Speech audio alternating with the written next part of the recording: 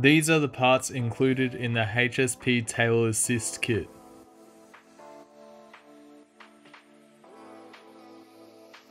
Remove tail lights by taking out the two 10mm bolts and carefully popping out the tail light. Remove indicated bolts holding tailgate hinge on driver's side. Heavy duty Loctite has been used on indicated bolts from factory. Remove plastic stops from tub and tailgate as indicated. Remove the two indicated bolts as shown.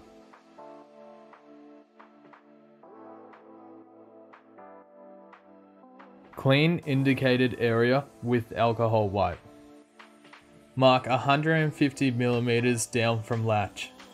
Peel and apply clear protection tape.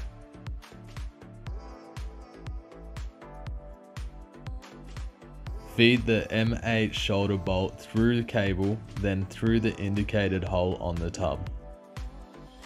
Place the M8 thick washer followed by the M8 nylock nut, then fasten. Be sure to have movement on cable on shoulder bolt. Remove indicated bolts and discard.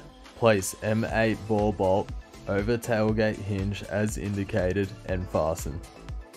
Feed M8 shoulder bolt through cable slot as indicated and fasten.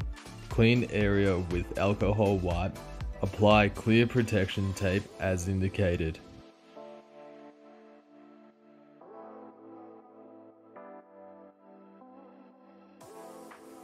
Fit the shaft end of the strut to the stud bore on the tailgate. Fit the dampening strut to the shoulder bolt followed by the strut locking bolt.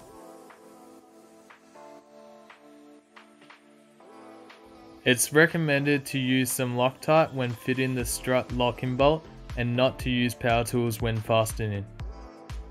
Clean area with alcohol wipe Apply cable stopper rubber as indicated.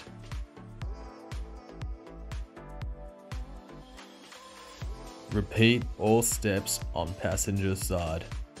When fitting the strut on the other side of the tailgate, be sure to lift the tailgate and attach the shoulder bolt before removing the spacer.